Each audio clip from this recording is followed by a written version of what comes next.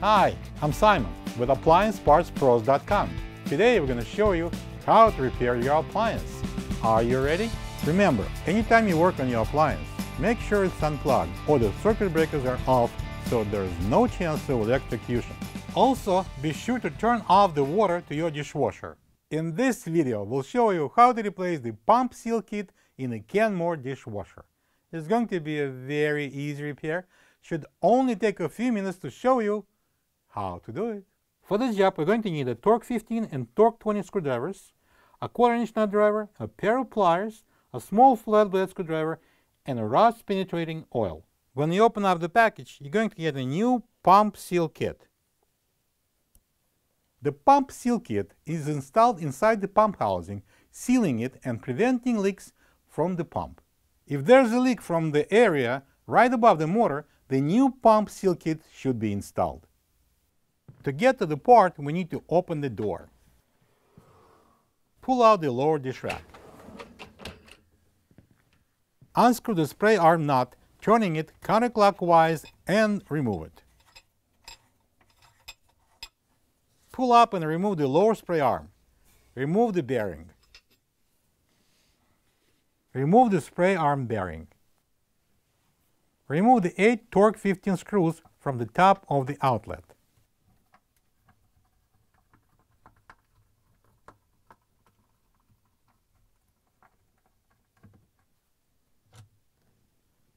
Pull the outlet to disconnect it from the supply tube. Using the flat blade screwdriver, remove the old pump outlet seal.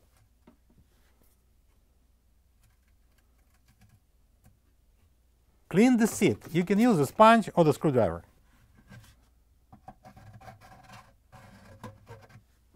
Now we need to take off the wash impeller. Hold it with the pliers and using the quarter inch nut driver, unscrew the center screw, turning it counterclockwise.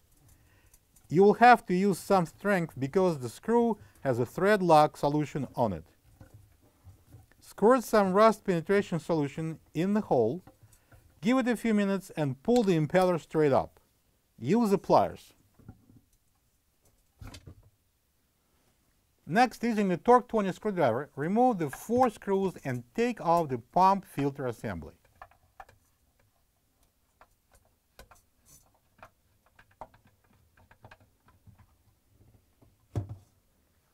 Turn it over and remove one shorter Torx 15 screw.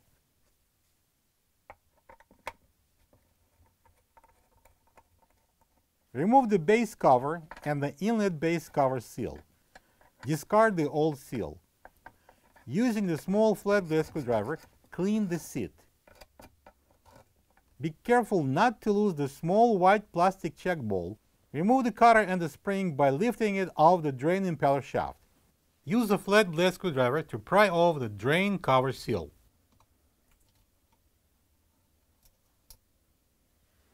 Using the Torx 15 screwdriver, take one screw out and slowly lift off the drain impeller cover. There are two white plastic check bolts inside the opening. Be careful not to lose them.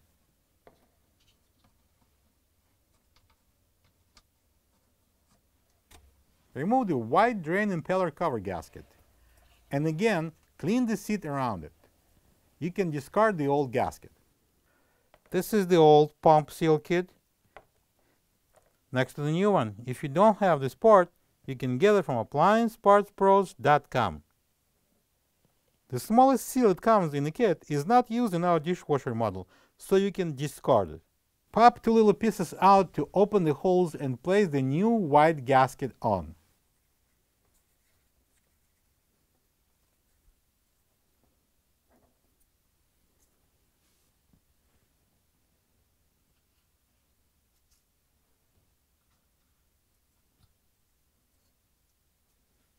Drop one white ball into the opening. Choose which one you like better. Install the new drain cover seal.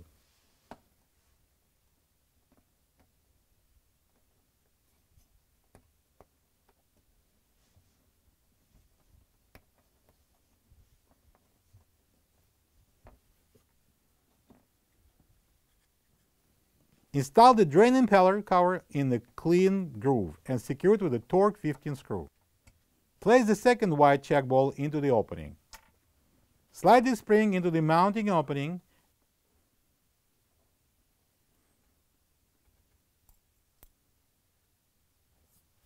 and install the cutter over the drain impeller with the hook fitting in the notch in the impeller.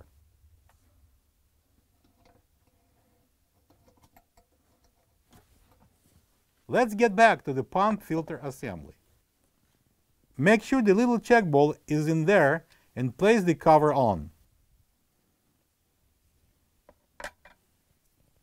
Install the new seal onto the drain cover outlet.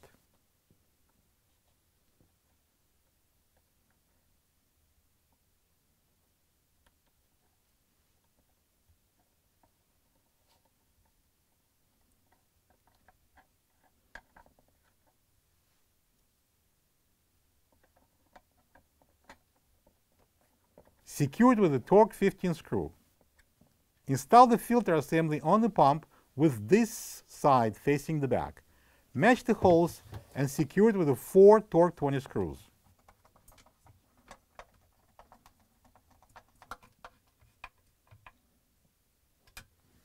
Install the new wash impeller. Turn it slowly until the shapes will match and slide the impeller down using the quarter-inch screw with the rubber seal at the top provided in the kit and the pliers secure the impeller. Install the new pump outlet seal in the groove in the pump housing.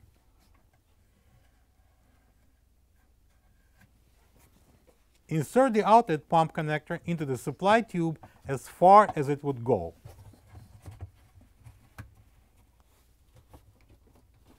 Align the holes and secured with the 8 Torx 15 screws.